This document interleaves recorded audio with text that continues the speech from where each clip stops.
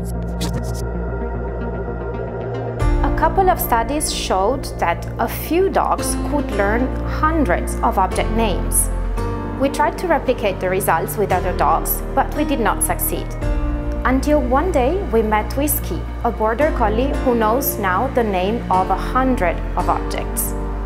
Since then, we have been trying to look for other dogs around the world that could do so. So far, we have found another six.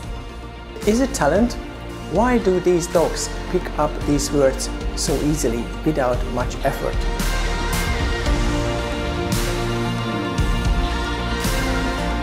How and why do they differ from other dogs?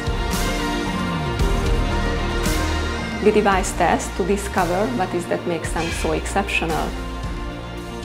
We will run the Genius Dog Challenge to find out how fast they can learn new words.